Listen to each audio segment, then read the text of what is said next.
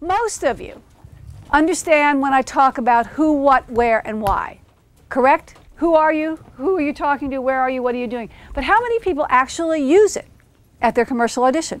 Sometimes I'll have people come in and I'm working with them uh, in a class. I say, Who are you're talking to? And I, they go, America. and what does America look like? Well, you know, and I know you're talking at people. If you're not talking to somebody, then you're not talking to anybody. And when they watch it back in the monitor, back at their offices, wherever they are, if they don't believe that you're talking to them, then why would they watch you? And when you watch commercials today, don't you feel, I know you've never stopped to think about it really, but hopefully now you will, that, oh, I feel like they're talking to me. You don't feel like they're talking at you. They don't you don't feel like they're talking to America. They're talking to you, right? So you want to listen. But if I wasn't talking to you, you wouldn't feel like listening to me.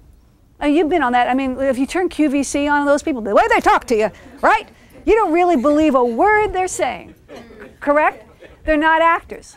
I had a girl come today. I, I, usually meet people before I allow them to take my classes because I want to make sure I don't have any serial killers in there. But you know, I want to make sure that we're on the same page. And this girl came to me, and she's a hostess, and she does a lot of stuff for, for cars and stuff. And, and right away she says, "Today, my," she started like, doing that, and I go, "Hello, I'm over here."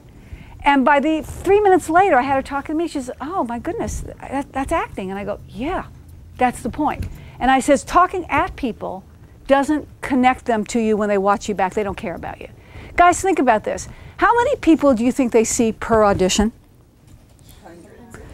Depending on the, on the material. They only have time sometimes to see 50 or 60, or, uh, or sometimes they can see a couple, maybe 100, 150 in a day.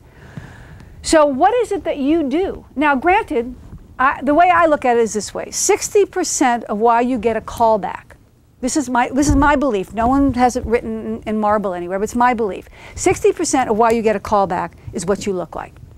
Because that's what they're they're they're they're they base the commercial. They spend a lot of time working on that commercial so that it hits their target market. So you have to represent their target market. Do you understand that? So when you come in, sometimes they're a little all over the board and whatever, but if they have you on a callback, that means that they're interested in your physical type.